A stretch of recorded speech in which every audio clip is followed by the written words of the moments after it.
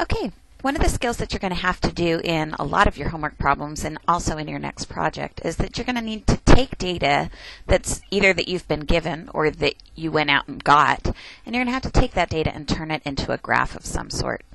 Um, you can do this by hand, um, but to be honest, um, a lot of times our, our computer technology is a lot better um, to make things nice, neat, and pretty, um, and can do it fairly simply.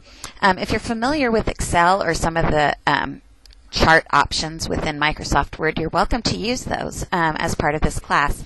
however, if you're not very familiar with them, there are a lot of really nice, even easier to use options out there available. what I have here is a link that I often use when I'm making graphs to put into your guys' assignments and tests. Um, and that's this website here. Says Kids Zone, but hey, if it's easy and it works, why not use it?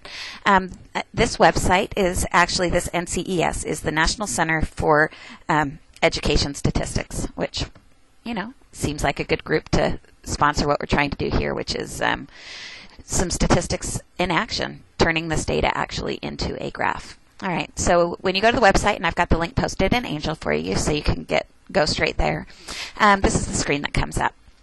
At this point, what you want to do is choose the graph that you would like to actually use. So what we're going to do is an example here. Um, I'm going to show you how to create both a bar graph and a pie chart using this program. Um, and the data that I'm going to use is this over here, just some made up stuff. Um, in this case, we're looking at students' favorite colors. Five students said they liked red, nine blue, two green, one pink, two black, three yellow. So that, that's the data set that we're going to use. Let's start by making a bar graph. So to do that, I'm going to click on the bar option, and this is what's going to come up. Um, as we look down the side here, there's different tabs, and we'll, we'll go through each of those tabs as we go through our process here. Um, in this particular case, I'm looking at the bar graph. You have options about which ways you want them to, your bars to look. If you want some kind of funky shapes, it'll do a lot of stuff. You can play around with colors, um, lines, and where you, if you have a, a legend or a key of some sort for your graph, you can change where it goes, or you can take it out altogether. All that stuff's going to go on this screen. We're doing a pretty simple bar graph. I'm just going to go ahead and leave all the defaults so you can see what you want to do. Let's go down and click on data. This is where you're going to put stuff in.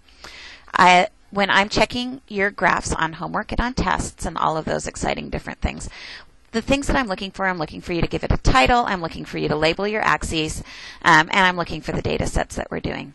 Um, what I'd like to, so for this title, I'll just call this Class's Favorite Colors. Um, I picked the bars that were vertical, so the x-axis along the bottom is going to be what their favorite colors are. and the axis up the side is how tall those bars are going to be, and that is going to be the number of students that had that favorite color. Um, source is just if you got your data from a website or something like that. Um, we always like to save ourselves from copyright problems. Now, in this case, I have one, two, three, four, five, six different colors. So I'm going to choose six here. Um, I just have one group of data. Um, if we, if you ever need to do a comparative group where you want to have two different sets of data side by side, this is where you can change that. My group label, just the one group is just the students in the class. And now I just go through, I'm going to give each different item label. So in this case, I'm looking at red, and then the value associated with it. There were five students that had red. Blue, nine students. Green, two students. Pink, one student black, oops, two students, and yellow was three students. Um, max and min values are just if you have things that are really, really big or small and, and the spacing looks weird, you can adjust that right here. Um, let's click here on labels. Um, if you want to show the labels, usually showing labels is a good idea. You can kind of change types font sizes and all sorts of different things to make it look pretty. Well, let's just see what it looks like now, and then we'll see if there's anything that we want to change. Um, we just click on the Preview tab. Here's a graph. Notice that we have a title up at the top, Classes Favorite Colors. The labels on the bottom say Favorite Colors. We have all of the colors labeled here. Our heights are coming up in nice even things, and it says the number of students. To be honest, I'm pretty darn happy with this graph, and so um, I can't really think of anything that I'd, I'd particularly like to change at this point. So at that point, we can decide what do we want to do. Um, if you just want to print it out, Um, or you may want, you can just hit the print button. It'll print out. You can attach it in with your homework. Um, and I'd suggest that you do that rather than trying to hand sketch. I think it'll be a, a, a, lot faster, and I'd like you to get familiar with a little bit of the technology because it makes your life a little bit easier. If you actually want to import your graph into another document, and this is what I do when I make tests and stuff like that, or if if you're working on your project, for example, and you'd like the graph to appear as part of your paper, you can click on this download button here. Um, over here on the download, if you want to actually import the graph into something else, oh, where's my little Dropbox here? Let's, there we go. Um, generally, what I found works the best is you either want to export it or download it as a JPEG or an EMF. Let's go ahead and do a JPEG. Um, I'm going to click on download, and it's going to try to open this in your in another program. In my case, it, it's just opening it in Windows Photo Viewer. You'll have something that will download this. And at this point, once you get something that shows up with your graph, it's now in JPEG format. If I right click on it, I can just click on copy. And then I can come over to my document here, right click here, and say paste, and poof, there's my graph that we just created. So it's a nice, they actually have, have made it fairly nice for going back and forth um, and being able to put your graphs in some other format or print them out, um, depending on what you need to do. Now I'm going to go ahead and close these tools right now. Um, and let's go back and see what the settings look like if we want to make a pie chart. Um, really for your homework assignments, you're either going to be using bar graphs or pie charts to do everything. So let's click on pie chart.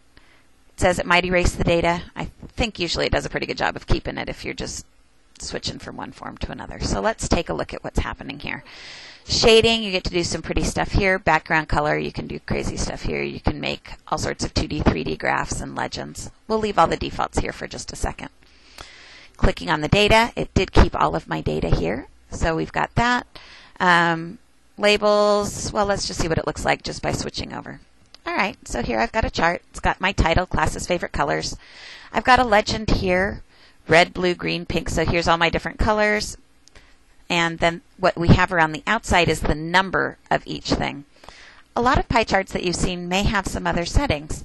First of all, one thing that's driving me crazy is the fact that red is green. So we can change all of that. If you look here at the data tab again, notice that we can change the color of each of the pieces.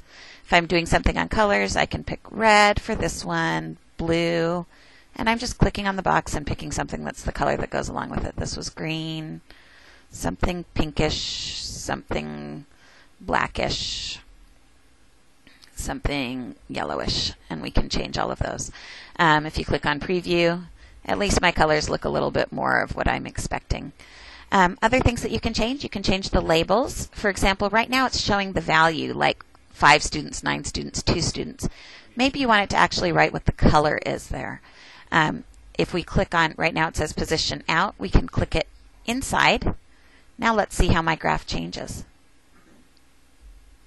All right, so I've got my colors. The labels are all written inside now, which works pretty well for everything except for the black one. So maybe you want to use gray instead of black or something like that. And you can do that. You can write the labels in there, um, which are the label names. You can add the percentage of the total um, as well as the label, which is kind of a neat thing to do and something that you've seen on a lot of your other graphs as well. Um, Oh, they wrote them right on top of each other, so maybe that wasn't my best option. Um, anyway, just play around with your settings here. Um, see what works, what you like, what you don't like. Um, and once you're happy with it, then you can go ahead and print it out. Um, in this case, if you have things well labeled inside here, remember if you go back to the um, design screen, you can go on no legend and then it won't show up. So it just depends on how you actually like to um, like to do things. So play around with it. There's all sorts of fun stuff. And again, once you're done and happy with it, you can print it, um, or you can save it as some other file type and import it into another document that you'd like to use. So some great super options. Um, what else did I want to say? Um, on the main design page, if you want to get some help, there's a Create a Graph tutorial. It'll walk you through a lot of different options.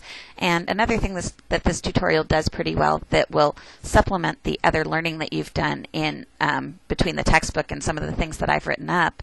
Um, this will also talk a little bit more about deciding how do you decide which graph type to use for different data pieces and stuff like that. So lots of interesting stuff, fairly easy to use. Click back and forth between whatever you need here. Um, just play around with it, have some fun, um, and use this as a super tool to help you out with your homework as you're going through and doing stuff. Um, okay,